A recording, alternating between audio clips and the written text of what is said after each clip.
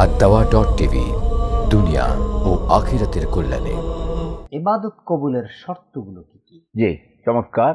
এবাদত কবুলের শর্ত সময় বলছে অনেক কম আমরা সংক্ষেপে সংক্ষেপে বলছি। এই উত্তরটা আমরা জানতে চাই এটা খুব জরুরি। খুব জোর তিনটা। একটা হলো ইমান লাগবে। জি। ইমান না এনে ভালো কাজ যে যা করুক কোনো কাজ হবে না। জি। কারণ শিব আল্লাহ তালা তিনি বলেছেন অকাদেম না ইলা মা আমিলু মিন আমালিন ফাজা আল্লাহু হাবা মনসুরা। আমি তাদের কর্মের দিকে মনোনিবেশ করেছি। দেখেছি তাদের কর্ম আছে, অনেক কর্ম।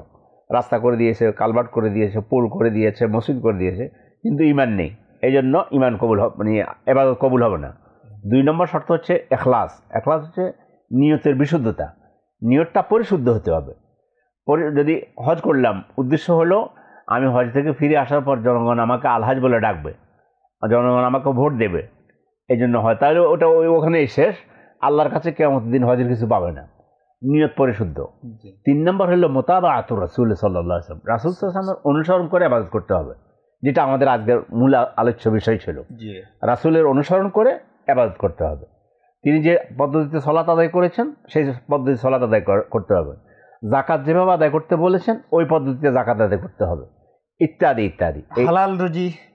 হালাল রুজিও মানে আবাদত কবুল হওয়ার জন্য পূর্ব শর্ত। আহ, পূর্ব শর্ত হাদ সৈয়াদিসের মধ্যে এসেছে। এক ব্যক্তি বহুদূর থেকে সফর করে এসে বলতেছেন ইয়া রব ইয়া রব হে আল্লাহ হে আল্লাহ আমাকে এটা দাও এটা দাও এটা দাও এটা দাও। এটা হলো দোয়া কবুলের শর্ত।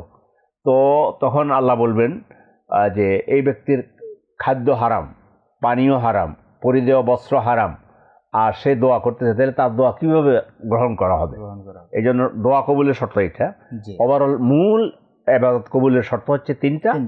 কোথাও যদি কেউ দুইটা আলোচনা করে তার মানে হলো শ্রোতাদেরকে সামনে রেখে যে আমরা তো মোমেন ইমান আছে বাকি দুইটা আলোচনা করে। ফলে আমাদের শ্রোতারা এটা কখনো যদি আমার থেকে শুনলো যে তিনটা আরখানে আরেকজন থেকে স্কলার থেকে শুনলো যে দুটো তো দুটোর মধ্যে তিনি সেখানে ওই মোতাবাত রাসুল রাসুলের অনুসরণ এবং নিয়তের বিশুদ্ধ এই দুইটা আলোচনা করেছেন সামনের শ্রোতাদেরকে মোমেন ধরে নিয়ে। আমি তিনটেই বলে দিলাম ওই জন্য হ্যাঁ আলহামদুলিল্লাহ আমরা তো আল্লাহ ইমান আমাদেরকে দিয়েছেন ইনশাআল্লাহ। তো ইমানের পরে বাকি দুইটা। সেটা হলো রাসুলের অনুসরণ করে করতে হবে, নিয়তটা পরিশুদ্ধ হতে হবে। এই তিনটার একটা বাদ পড়লেও আবাদত আল্লাহ কবুল করবেন। তিনটা পুরোই থাকতে হবে।